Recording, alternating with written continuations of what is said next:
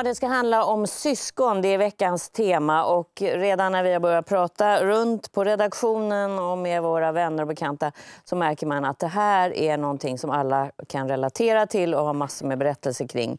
Det finns forskning, eh, forskning som säger att man numera inte bara tittar på föräldrarnas påverkan eh, på sina barn och vad man blir som vuxen sen, utan nu tittar man allt mer på vilken syskonrelation man hade. Var man äldst, ja då är man på ett visst sätt, mitt emellan på ett annat sätt och yngre i skaran på ett tredje sätt. Men det finns också väldigt mycket känslor bland syskon. Christian, känd från TV4 får vi säga. Ja, precis. vi nämner inte det andra. Jo då. Ja, Även, eh, Även det finns SVT. många bra andra bra ja, det finns mm. det. Eh, och Martin Lok, bröder. Storebror är Christian. Ja, jag är två år äldre. Ja. Ni, ni ska till och med göra det här eh, väldigt speciella temat till en föreställning. Precis. Mm. Vi har jobbat hela vintern med det faktiskt. Mm. Om några veckor är det premiär här i Stockholm på mm. Rival. Det är ett sånt bra ämne, det har vi märkt när vi har satt igång det här.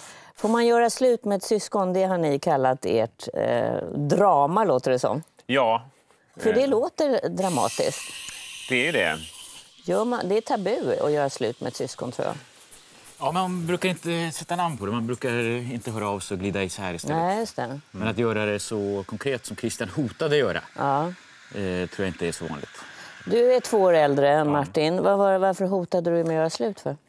Vi, eh, sen tonåren har vi glidit åt olika håll egentligen. Mm. Och, eh, men ändå haft kontakt ganska mycket. Och Martin eh, upplevde jag som väldigt kritisk till vad jag höll på med, särskilt i mitt jobb i tv. Och mm. Han hade alltid synpunkter och krismöten med mig om så här kan du inte göra och det här är inte bra. Vad sa han då till exempel? Ja, men när, när vi körde Sen kväll med Lok här i huset till exempel så hade han just att nej, det här får vi göra, helt göra om. Eh, du måste vara en annan karaktär. Och det, hur och, kändes det när han sa det? Ja, men då tyckte jag, jag har alltid respekterat. Martin å sin sida har gått en ganska smal väg. Och så, mm. han är, nu berättar jag om dig. Mm. Manusförfattare och suttit hemma och skrivit mycket på kammaren. Och briljanta grejer som mm. jag har haft väldigt mycket respekt för. Så jag har ju lyssnat på vad han har mm. sagt.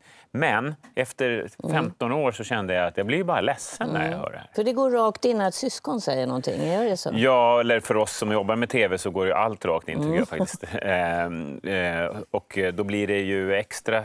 det blev jobbigt att ses. Eh, när han, och då blev det som en grej att, att han inte fick säga något. Och då blev ju du ännu mer provocerad mm. av det. Liksom. Och då gjorde du slut?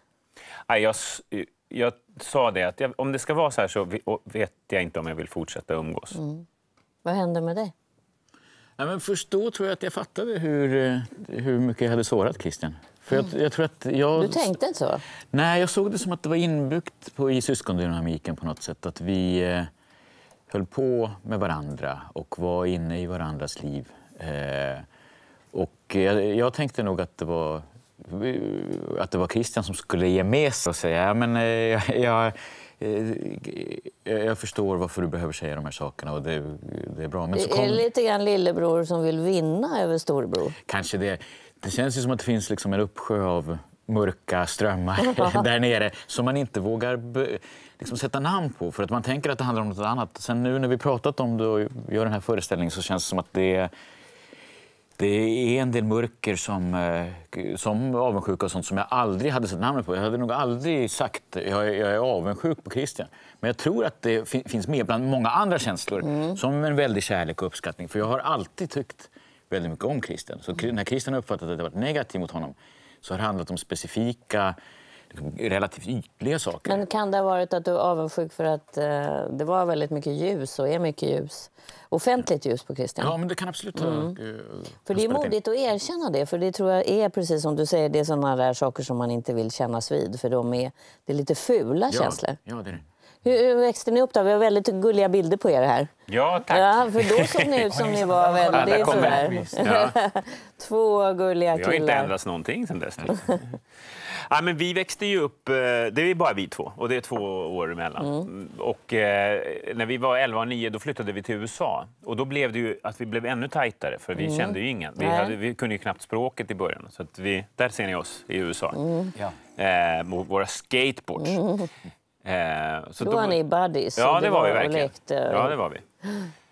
Um, och sen vid tonåren kan man säga att vi började glida isär. Martin mm. blev mera höll på med sitt estniska modsgäng och lyssnade på, beställde kostymer från England på postorder. Och jag var mera duktig, eh, s- Gick på präktig. Handels ja, och- exakt. Den. Men ändå var ni lite grann i samma bransch. Ni måste ju ha haft nytta av varandra. Ni tillhörde olika gäng som blev Bröderna Hassan, Ja, gänget och Killinggänget. Mm. Alltså det fanns ju ändå väldiga beröringspunkter. Ni var ju inte helt i olika världar. nej. Men vi har ju nästan aldrig jobbat ihop. Martin gjorde lite smågrejer till eh, Sen kväll med Lok. Mm. Ehm, och så. Men där är första gången. Jag tror att eh, det har känts viktigt att hålla isär jobbet från eh, det privata. För att jag, min erfarenhet är när man jobbar med kreativa saker att man bråkar väldigt mycket. Det kanske är unikt för Killinggänget för vi har bråkat väldigt mycket i Killinggänget. Och jag har känt att det vill man inte dra in i en väldigt eh, värdefull relation. Men finns det en föreställning om att man ska vara så sams hela tiden? Ibland så säger ju forskarna att på ett sätt är det bra att man bråkar för man, man tränar sig när man är liten. Här är det faktiskt någon som inte lämnar en om man bråkar. Inte som en kompis som säger jag vill inte vara med ja, dig. men Det är precis det jag har Ja. känt. Att det är liksom nästan vår skyldighet att vara den där besvärliga rösten. För ingen annan kommer vara det. Och vi kan vara den där besvärliga rösten och ändå finnas kvar för varandra. Mm. Fast det lät som du var mer den besvärliga rösten än, än Christian. Ja, Ja. ja. men tyvärr Ja, har det varit lite ensidigt. För jag har, nog jag har liksom alltid känt att Christian har varit så, eh, så väldigt viktig person för mig. Väldigt Mm. Blev trogen. du lite chockad nästan när han sa att nu vill inte jag umgås med dig längre? Ja, men det tror jag. Mm. Eh, och jag, jo, men jag, jag tror verkligen att det var en eh, ögonöppnare. Och jag Mm. fick se det från Christians håll för första gången. Och det verkar ju ha varit något som var bra. Ja, Det var startpunkten på att ni började prata. Ja, verkligen. Ja. När jag hade sagt det så kändes det som att nu kan vad som helst hända faktiskt. Men då fick jag en enorm reaktion från Martin. Att han kom direkt och vi började, ja, han släppte mig inte förrän vi liksom hade börjat Och det prata. måste ju vara viktigt för dig. Jätteskönt. För det hade lika gärna kunnat vara att han hade svarat whatever. Ja. Jag behöver inte dig. För det var ju lite modigt, för jag menar, det, det, det känns ju när, någon, när man får kritik och den som kritiserar förstår inte alltid det. Det verkar som att du gjorde det för du trodde du skulle hjälpa honom men kanske fanns en underliggande agenda där. ja kanske. Ja. Nej, men det är svårt att eh, analysera sig själv, men jag tror ju säkert att det är många strömningar på gång parallellt. Liksom, eh, kärlek och uppskattning och också, också en känsla av att man ska vara ärlig. Tror jag. Att det är liksom, ingen är betjänt i en så nära relation med att, liksom, att hålla på och spela ett spel där man inte är uppriktig. Och på liksom, ärligt talat så har ju Christian och jag haft väldigt olika uppfattningar om kulturella saker. Vi har gillat olika saker och det är inte givet att... Var du mer finkulturell? Nej, men jag skulle säga jag har varit ute och gick på kanten mer. Och eh, liksom i, I de små dikena och sånt har jag gillat grejer. Vare sig det är fint eller fult har jag gillat det. Men det är ju lite fint att gå på, i, i Ja, kulturvärlden. du ska och se gå... de, de Nej, okej. skitiga kanter jag har varit ute i. Okej. Vad är det då? Ja, eh, gamla hedoniserade tanter och sånt som eh, eh, jag tyckte var fint att lyssna på.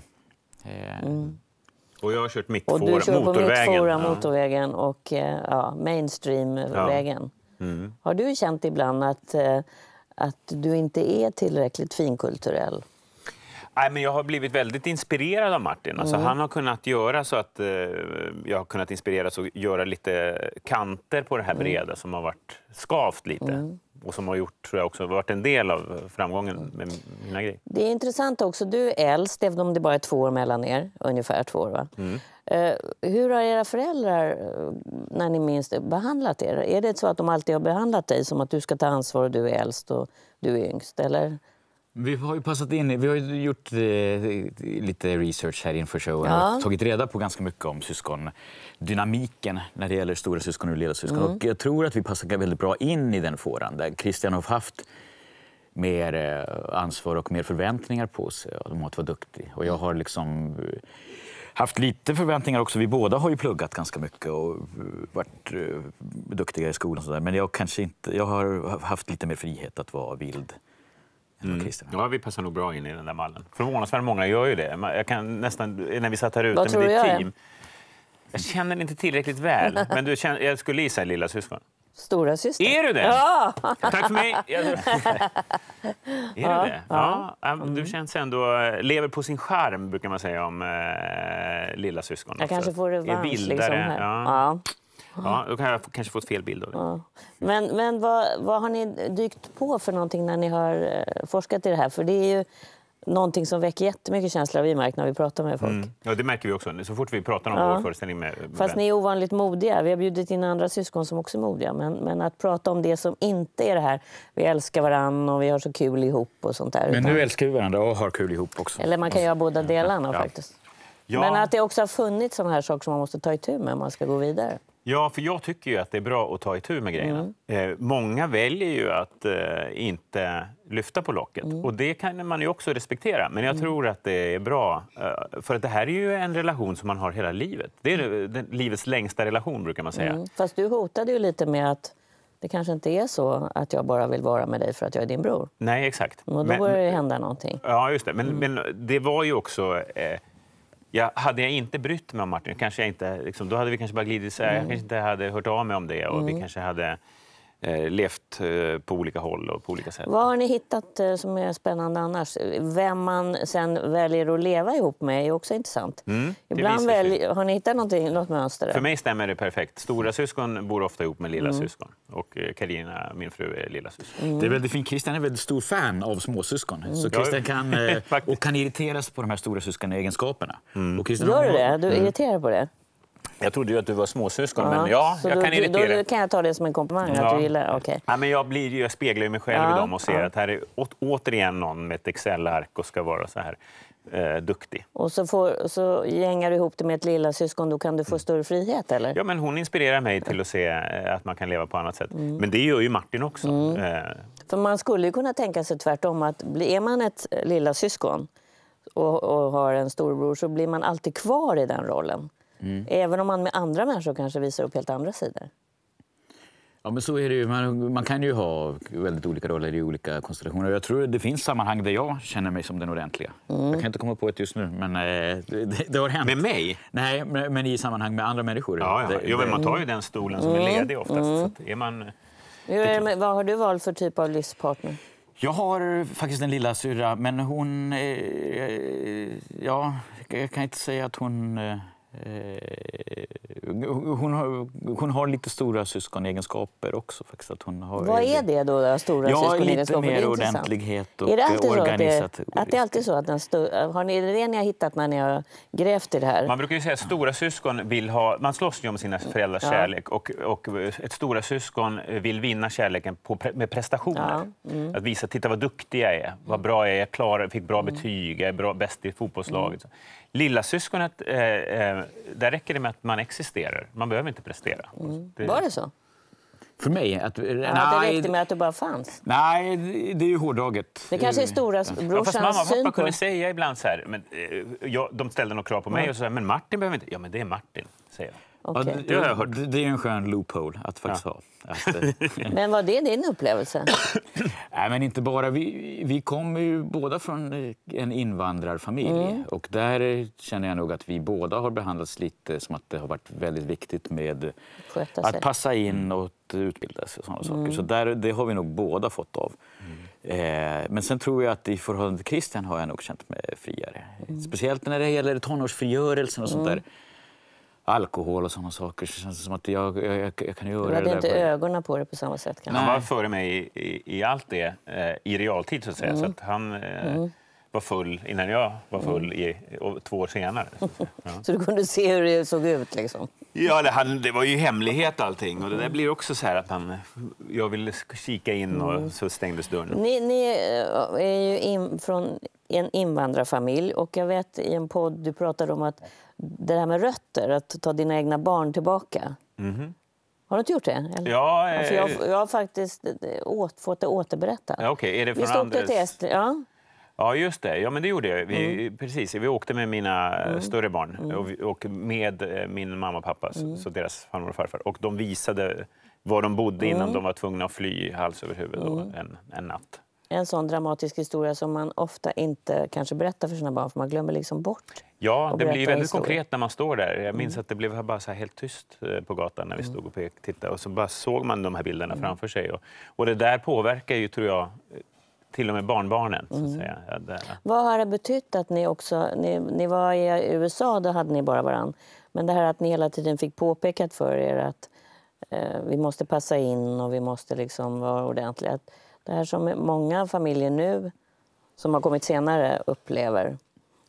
Jag tyckte att det var besvärligt, för jag har, tror att jag kände att det blev en eh, tvångströja och Mhm. eh, ville inte passa in. Så du revolterade liksom ja, men emot lite det? mot den Mm. saken. Eh, Där tror jag vi valde två olika spår. Faktiskt. Ja, där var ju jag att där kände jag att där kunde jag få beröm om jag Mm. var till lags. Och jag, nu i efterhand kan jag vara väldigt kluven till det. Jag har mått dåligt under tiden, men jag tror inte att det hade heller varit så. Det har ju blivit min grej. Jag är bra på att ta folk och ta, Mm. liksom smälta in. Och det var en del av min liksom, intervjuteknik i Sen kväll med Lok också, Mm. att få folk att känna sig hemma oavsett vem de kom, var de kom ifrån.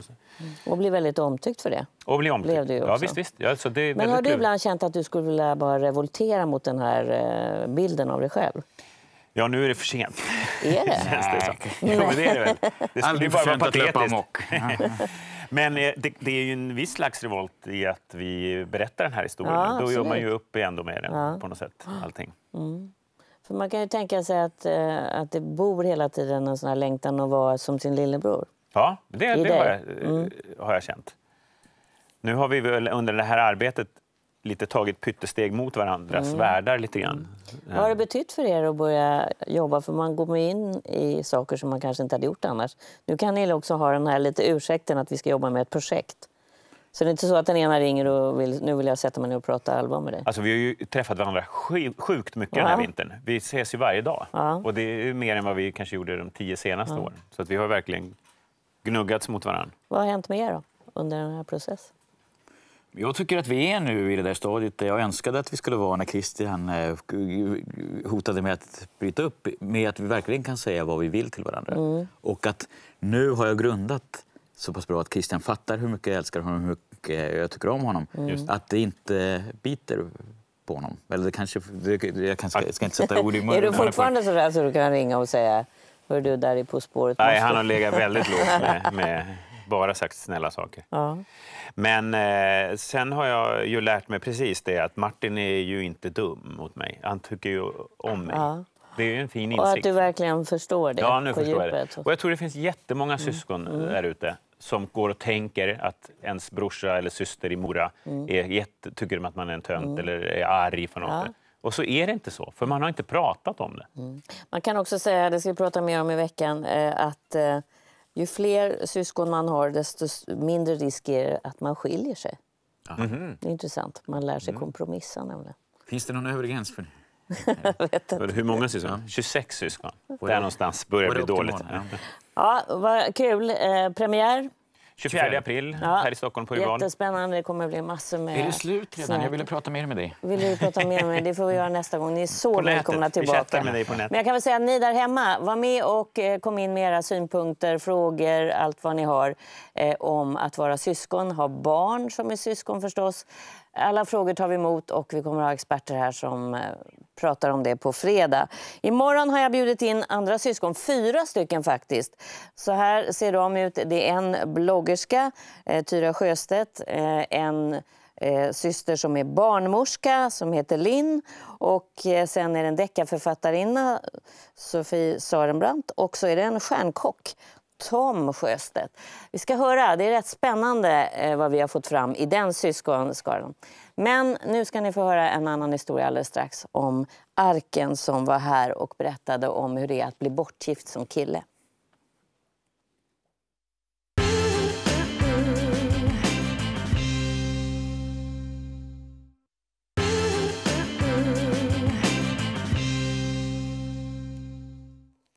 Ja, det finns intervjuer som man aldrig glömmer och en av dem är är intervjun med Arkan som skrev den här boken Stjärnlösa nätter.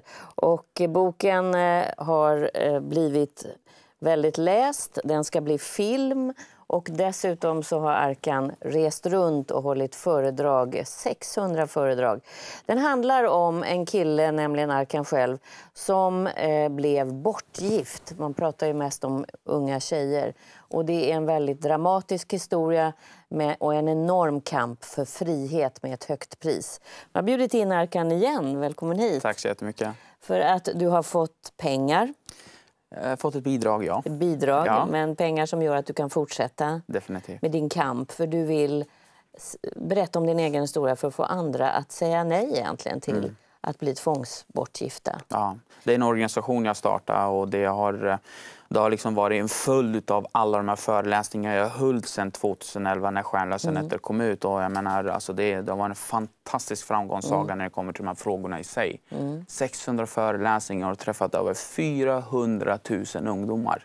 Och hur många tror du att du har räddat från att bli eh, tvångsbortgifta? Det, det, det, är väldigt svårt att säga. Jag tror snarare att man kan räkna på hur många det är egentligen som man har berört. Mm. För att det handlar inte bara om de som har blivit bortgifta utan det handlar om de som kan stå upp för sina egna mänskliga mm. rättigheter. Det kan vara den etniska svensken, det kan vara den som har vuxit upp i en akademisk bakgrund och man har flera generationer som har varit akademiker och sen vill jag bli konstnär och bryta sig loss de kraven. Mm. Så att jag tror att om man beräknar på, på, den, på, på det sättet så tror jag att det är oerhört många. Mm. Om man nu för alla ska förstå din historia så eh, var det så att det här var någonting väldigt vanligt. Dina föräldrar var själva vad ska jag säga, bortgifta med varandra. Din mamma var 12 mm. år. Det stämmer. Och din pappa var? 19 år. Och så kom de till Sverige. Och då var det självklart att även du skulle giftas bort? Nej, det var faktiskt ingen självklarhet. Aha. För att eh, när vi kom hit så integrera, vi kom hit 83. Min far integrerade sig, assimilerade sig, öppnade sin verksamhet. Han hade enbart svenska vänner. Han var, var den här pappan som ville. Han ville mycket. Mm. Eh, men sen där under 90-talet så blev det så att eh, vi återupptog den här kontakten med släktingarna. Och då hade som fanns i? I norra Irak, då, mm. Kurdistan, norra Irak. Och då blev det som att han hade inte varit där när de fängslades. De, han, de fick betala det höga priset mm. för att han desertera. Och när han insåg det och, och genom, genomgick den här ångesten, vad det priset hade kostat, då gav han, sa han upp nästan allt i Sverige. Mm. Verksamheten, eh, sin framtid, alltså allt för släktens skull. Och då var det så att nu fick han helt andra värderingar. Mm. Och då en av de sakerna som det ledde till det var att du skulle giftas bort med en kusin. Det vart så. Det vart så en självklart. kusin som du inte kände överhuvudtaget? Jag kände henne efter de här sommarresorna vi hade när vi åkte mm. tillbaka de här två, tre månaderna. Hon var faktiskt min favoritkusin. Jag älskar henne fortfarande. Mm. Men det vart så att man gick då från kusin till att det här ska bli din fru. Mm. Hur reagerade du då? givetvis, eh, givetvis så satt jag, kände jag väldigt starkt starkt förakt för just det här beslutet. Det här var ingenting jag kunde försonas eller förlikas med. Mm. Det var verkligen nej rakt av. Mm. Men sen så trycks du liksom från vardera olika håll från släktingars sida. Så Hur det ser blir... det där trycket ut? Det är alltifrån, det är olika nivåer. Det kan börja med att man, den här övertalningskampanjen, att man eh, säger varför gör du inte det, det är så bra, ser du möjligheterna till, men du måste göra det, om du inte gör det, om du inte gör det är du död för oss, uteslutsamhet. Mm. Var det det du var rädd för? Det var så det blev. Det var ingenting jag var rädd för från början utan man såg då att man tappade den integritet man hade mindre och den blev krympte och krympte och krympte till slut så hade du ingenting att säga emot. När din mm. egna far får liksom hjärtattack och han hamnar på sjukhuset då insåg du att det här äktenskapet är det enda som kan rädda familjens ära. Det var vad man sa i alla fall? Ja, precis. Och då gifte du dig? Då blev det av. Mm. Och med, hur var det med din kusin? Hon var i samma situation egentligen. För grejen är att i våra hemländer, eller oavsett i den kulturen, nu ska jag inte säga att det, det här, den här problematiken handlar om att det är religionsproblem, att det är kristet problem eller muslimskt problem, det här är ett mänskligt problem. Men eh, återigen, när man talar om att det här är ett eh, kvinnligt problem, det här är ingen genusfråga, det här är varken ett manligt eller kvinnligt problem, det här är ett mänskligt problem den här kulturen och det här kulturella oket jag växte upp med, här krävde man då att det skulle bli på detta sätt. För man lär sig att underminera sina egna önskemål för mm. familjens bästa. Mm. Och det gjorde hon också? Det gjorde hon givetvis. Men, och så gifte ni er och du, hur mådde du då? När du kommer hem till Sverige, liksom, jag, var, jag hade tränat taekwondo sedan jag var 11 år. Jag var den här tuffa, starka killen i skolan. Jag var den som förebyggde mobbing och rasism i skolan. Jag var den, den här ledande killen. Och här kommer han och inte har kunnat säga emot att ge bort sitt egna liv. Det är klart man mådde skit. Mm. Och då, förne- då hoppade det liksom av. Jag precis kommit in till Stockholms filmskola. Jag hoppade av där. Jag hade precis eh, eh, kommit in till ett jättebra taekwondo-lag i Stockholm. Jag hoppade av det. Jag hoppade av allt, alla mina drömmar bara för att vara den här exemplariska sonen. Mm, och rädda din pappas heder och liv, eller familjens. Precis, mm. så var det. Men du bröt upp. Ja, till slut så... Jag menar, att växa upp här och eh, veta vad det var för eh, liksom, rättigheter och veta liksom, att det här det känns fel. Jag hade egentligen inte så, tänkt så mycket igenom det förrän jag träffade någon person här som fick mig att inse att kärleken är starkare än allt annat. Och det var det som motiverade mig. Du blev att kär? Ja. Mm. Och det fick mig att sätta stopp. Så vad gjorde du? Först lever man ett liv av massa lögner. Och eh, till slut så blev det så att du eh, gick, körde bara på. Nu var det för sent att sanningen skulle komma fram. Så att ju längre tiden gick desto värre blev det och det gick inte att sätta stopp för det. Hur levde ni två ihop då? Det låter ju liksom Ja, alltså, svårt. det låter så dramatiskt också. Men, men det var sanningen. Jag menar, kolla på de här historierna, Ronny, eh, Shakespeare-historierna. Alltså det är så dramatiskt. Det är liksom, jag älskar dig eller jag hatar dig. Och det var, så, det var det man levde med dagligen. Jag kunde inte behålla ett jobb. Eh, För det här var bara de känslor som du hade inom dig hela tiden. det var det, ja. men, men vad starkt. hände när du hoppade av med släkten och hedern och pappa och mamma och alltihopa? Vägen tillbaka var ju väldigt, väldigt tuff. Det var väldigt svårt, men det var väldigt viktigt. Ehm, ehm, en av de viktigaste lärdomarna min mor lärde mig, det var att det, var att det viktigaste är inte vad du har gått igenom, utan vad du gör åt saken. Och sen så sa hon att ehm, det du utsattes för måste du veta att det utsattes din egen far för. Så du måste förstå, men inte acceptera det. Men du måste förstå det. Hon ville inte att du skulle uh, hata din pappa. Exakt. Och jag älskar ju min far. Han är min, faktiskt, alltså, min stora förebild med tanke på hur han deserterade och lämnade eh, liksom Kurdistan och Irak, Iran och Irak-kriget för att ta oss hit. Så att vägen tillbaka var väldigt, väldigt viktig och, och det motiverar mig att fortsätta med mina drömmar igen, ta upp de här. För det som många är rädda för är att hela släkten och familjen vänder en ryggen och man är väldigt bunden och tycker mycket om sin familj. Eh, och det var det till slut som det stod emellan, trodde du?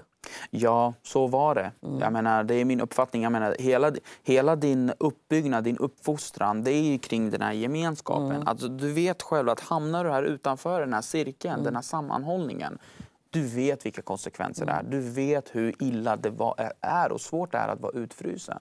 Men vad jag inte visste var att det här, det engagerade inte bara mig att sätta stopp för nästkommande generation, att det här med rätten att få välja sitt egna liv. Det här gick faktiskt tillbaka en generation. När min egna far säger gift er med vem ni vill, utbilda till vad ni vill, hakuna matata, inga problem. Jag menar, och han tar avstånd från alla de besluten för han är den pappa han vill vara idag. Vill Han gjorde nu, ja. Efter Nu, att ja. han såg vad det här betydde för Ja, dig. och han för nu har ni välsignelse. försonats och, och ni... Jag såg ju dig när du gjorde din föreställning första gången, tror jag det var. Just det, på Södra Ja, Teatern. och Ja, du lurade dit din pappa. Det var så snällt att du kom, jättekul. Och det var fullsatt eh, på, på Södra, Södra Teatern. Teatern, Ja, ja. och sen så höll jag en av de här föreläsningarna Mm. som faktiskt används som utbildningsmaterial eh, som Rikspolisstyrelsen och eh, Länsstyrelsen. eh, Mitt liv och rätten att välja, en berättelse om heder, arv och kärlek. Då kom pappa upp där och trodde det var en intervju som skulle göras i TV4. Och, Ja, han hade ingen aning. Nej. Och sen liksom 400-500 personer i publiken och sen nersläckt Mm. och så på slutet där då, surprise, lamporna på honom. Bam, bam, bam. Så det var tur att han inte fick hjärtattack där. Mm. För han har ju naturligtvis också gjort en jätteresa. Ja, Och även din mamma. ja. Va, deras liv, hur blev det då skulle du säga? Vad har de för relation, dina föräldrar? Mamma var 12 år när hon giftes bort med din pappa. Mm. Alltså, deras historia har varit oerhört viktig att förstå. Mm. Ja, det som har präglat mig, vem jag är idag, det som har präglat dem, vilka de är idag och varför är de som de är när de är här i Sverige. Och vilka är den här invandrarfamiljen? Mm. Är den bara en invandrarfamilj eller vilka är de? Det är individer med sina egna hemska livsöden. Mm. Och då var det väldigt viktigt för mig att berätta det i min andra bok som kommer ut i september. Varför? För att när man läser Stjärnlösa nätter så vill inte jag att man ska peka på förövare och offer. För att jag vill inte att man ser på min pappa som en förövare. Vi måste förstå att det grundar sig till någonting och det är det jag berättar i andra boken.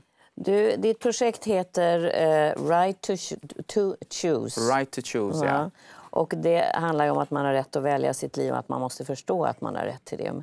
Men det är lätt att säga och din berättelse visar också att det är svårt.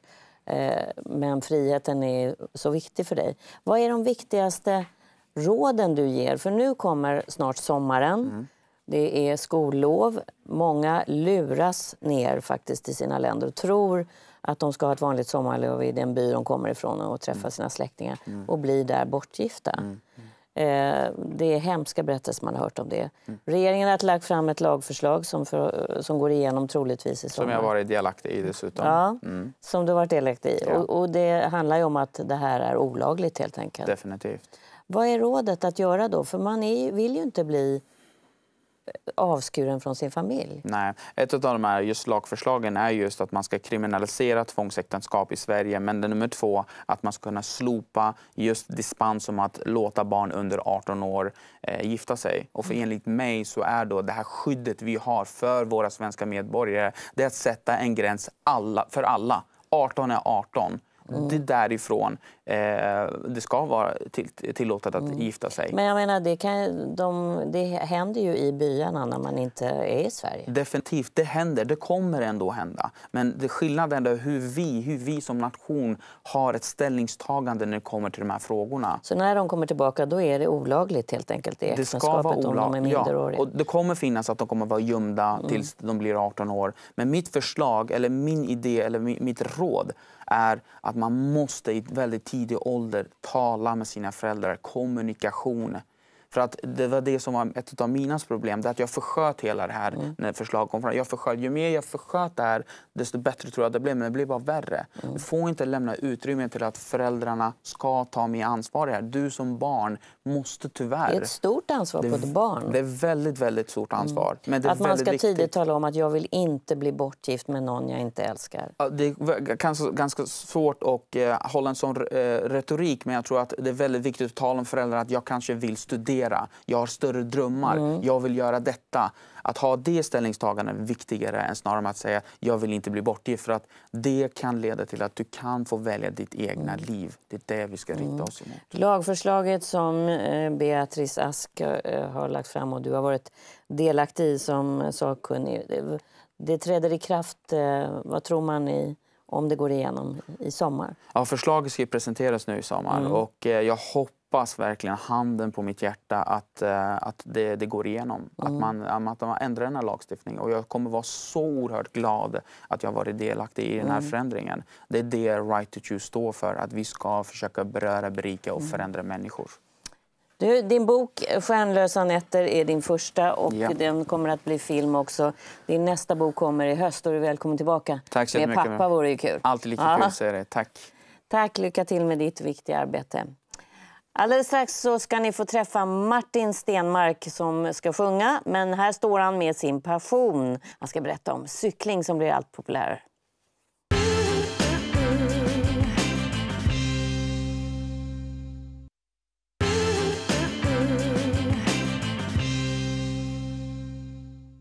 Så där ser den ut, eh, Martin Stenmarks passion. Han har till och med rättat till pedalerna. För de måste stå på det där speciella sättet, vågrätt. Annars får du skäll, var det så? Ja, det är lite så. Jag har ju nyfunna cykelvänner då har jag lärt mig estetiken är, estetiken är viktig. Ja. Och då är det så här, vi har kollat upp eh, att cykelintresset är större än någonsin. Platser till Vätternrundan och Cykelvasan att tar slut på några minuter. Och retrotrenden frodas. Jag har faktiskt sett nära mig en sån här affär som du älskar antagligen. Ja, men jag kan ju gå och kolla på cyklar. I, jag tycker de är så fina och snygga. Jag skulle kunna cykla på väggen hemma. Du har inte provat någon gammaldags höghjuling som också har kommit tillbaka? Nej, det har jag inte gjort. Men vet du vad jag såg häromdagen Nej. faktiskt? Kom åkande på Södermalm var där. Då kom det en jätte, just som en höghjuling med bara ett hjul, framhjulet. Han, så han åkte liksom som en enhjuling med jättestort, Oj, med oj, oj. styre som han hade upp från den där. Så det, det har jag inte sett förut. Men det var- Fast du håller på med helt andra grejer sen du var liten faktiskt, va? Mountainbikes. Det är så jag fick hålla mig till cykel. Jag hade liksom inte, vi var för många så vi hade inte råd med mopeder Ja, och grejer. just Så det, det du blev och dina, vad, är, vad var ni, nio? Ja, till och med, jag har ju elva syskon. Elva syskon. Och då blev det en cykel. Men det blev ju en bra investering för att det kanske därför du håller i form. Ja, men det tror jag. Jag tror att det där är Hur ser det ut då? Jag vet att du berättade när vi satt oss här. När du och din hustru Hanna är ute och går, gärna med någon kompis, så tittar du, tror han, på snygga tjejer, men du ser bara cykeln hon cyklar Ja, på. ja, men det är skönt att Hanna ändå vet om det. Hon säger nej du kan vara lugn, han kollar bara på cykeln. Jag, jag blir så nej men kolla där var eh, nej, men Jag har alltid varit fascinerad av det. Jag tycker att det är ett så enkelt färdmedel och Mm. ändå liksom... Ja, men jag vet inte varför Enkelt färdmedel när man transporterar sig Mm. runt i stan. Det är helt underbart tycker jag också. Men vi ska titta på bilder som inte är lika enkelt för det är en utmaning. Du cyklade 50 mil, var det inte så? Jo. Det här kanske var från USA va? Nej, det här är från eh, det här är Nepal. Ja, det är Nepal, det var det Ja. jag tänkte på. Precis, det här är Himalaya-trakten runt Annapurna kan man säga. Mm. Runt Annapurna Circuit, en välkänd vandringsled. Var det här en tävling? Ja, det Mm. var det. Så att eh, jag och eh, den andra cyklisten som man eh, ser där till höger om mig på den här bilden, det är Andreas Danielsson. En god vän och vi bestämde oss för att åka dit och genomföra den här tävlingen. Mm. Ja, vackert. Tänk att det är vi Otroligt. Och ni där. är uppe på över 4 000 meter. Ni kanske var ännu högre. Ja, och så högst var vi uppe på 5500. Och så cykla då när man knappt kan gå på grund av höjdskillnaderna. Men det berörde inte er. Jag var berörd. Det var fruktansvärt jobbigt. Det jag det, grät ja. mig till sömns. Ja. Eh, Så var det verkligen. För, för syreupptagningen är mycket tuffare. Definitivt. Och så just den här konstanta huvudvärken som man får där uppe. Mm, det hade men där vet man inte hur man påverkas av den höga höjden. Men så gjorde jag. Det är genetiskt tydligen. Jag reste Ja. också i Anderna. Var, vi var helt olika påverkade. Jag fick också den här huvudvärken. Ja. Men du, att eh, cykla, vad, hur skulle du beskriva det? Vad är det som är så härligt? Ja, men jag, för mig, jag har kvar den här samma känsla som jag hade som barn. En otrolig frihetskänsla. Jag tycker att det, är, det spelar ingen roll vart jag ska, om det, är, om, du vet, om det är att jag ska till jobbet eller om jag tar mig tid och åker ut i skogen. Så är det någon slags, just den här, det är någon meditativ, och så man flyr från verkligheten en stund. Och även när jag ska till ett jobb och man har bråttom så kommer ändå den känslan. Jag kommer in i den här tycker jag är så roligt. Fast just mountainbike, det är Mm. något speciellt med det. Då är det ju naturen som man ska använda den i egentligen. Definitivt. Inte ute på asfalten, Nej, det är väl, nej, då kan man ju välja en annan cykel. för den är mycket tyngre. Definitivt, ja det är det ju. Ja. Och grövre hjul framförallt så att du inte får samma här lätta rullet. Men det finns en värsting som du trånar efter, har förstått, som du har testat. Ja, jag, jag har ju upptäckt, jag är, eh, ja, jag är nyförälskad kan jag säga. Nej, men det finns en, en, har funnits länge i och för sig, men mest i nordamerikanska eh, länder och mer eh, män med stora skägg och truckercaps som kör något som heter fatbike. Jag har faktiskt en bild på det du som kör. Jag trodde först det var sand, men det är snö. Ja, det är snö. Vi var både och. där. Det här är i, i Colorado. Det ser ut som ett bildäck. Ja, ja, men de är lika stora som... Vad är grejen med det? Ja, det är just det, om man då tar att det här framförs ofta på i sådana förhållanden där det är liksom, eh, snö, det, du vet, det är poröst. Det här är svårt. Har du smala däck då kan Det du inte åka ner. om man har smala hjul. Ja, Mm. och här är det tjocka ordentligt. Eller om sand, sanddyner kan du också åka på det där. Men väldigt, väldigt roligt. Mm. Och då var du och cyklade i USA med en Ja. sån? Ja. Right. Vad är nästa utmaningen då? Nu radade jag upp några. Cykelvasan, Vätternrundan. Ja. Det har du avverkat förmodligen. Eh, Jag har inte lyckats med Vätternrundan än. Jag har varit anmäld några gånger men det har inte blivit av. Nej. Men eh, cykelvasan har jag fixat där. Nej, men det närmaste var nu är att jag och Andreas håller på att utforska äventyr i vardagen som vi kallar Ja, det Så tycker jag är sympatiskt. Ja, tanke. ja men, och då tänkte vi, för vi som sagt har gjort några häftiga resor. Så, här, men, så nu börjar vi undersöka, här där vi bor, då, Stockholms skärgård. Det ser ju underbart ut. Det här var, eh, tror jag du sa, en septemberdag när Ja. det var stilla. Precis, ja, men så att vi har eh, hyr den här båten och sen så åker vi runt och testar olika mm, öar. Ja. Eh, snackar lite med Skärgårdsstiftelsen och kollar och så försöker vi hitta så här guldkorn. Så någon gång så hoppas vi att det här kan resultera i någon slags eh, Safari, en guide eller en en liten film. aha. Eller vi håller på. Det så Men var har du hittat projekt. några pärlor här i Stockholms skärgård för de som eh, gillar att cykla? Ja, men det finns du har Sandhamn till exempel, Mm. som många tar sig dit och går på krogen eller har det fint. Där har Och rör sig i hamnen bara? Ja, verkligen. Men åker man inåt där så är det otroligt fina sandspår Mm. där inne i skogen. Så att vi försöker hitta de här olika öarna där du kan få lite längd i cyklingen också. Om man nu blir sugen när man lyssnar på dig och vill just testa att cykla i naturen, Mm. För det är ju en, naturligtvis en alldeles speciell upplevelse. Eh, vad, hur ska man börja för att hitta en bra cykel? Eh, Man ska börja med att tänka vad man ska använda Mm. den till. Och eh, jag tycker det är alldeles för vanligt att folk kanske köper för dyra cyklar från början. Ta något som för ändamålet Mm. Kanske kan passar bra. hyra och, och prova sig fram? Precis, Mm. jättebra idé.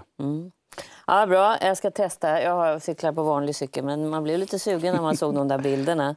Får följa med mig. Det är jättekul att du är här och pratar cyklar, men det är också roligt eh, när du sjunger förstås. Och det är många som gillar. Du ska få sjunga ditt eh, bidrag som du hade med i Melodifestivalen Yes. i slutet av sändningen. Ja, ska bli fint. Du får en, ta en kaffe av Oskar, vår barista. Underbart. Så länge. Ja. han älskar också att cykla.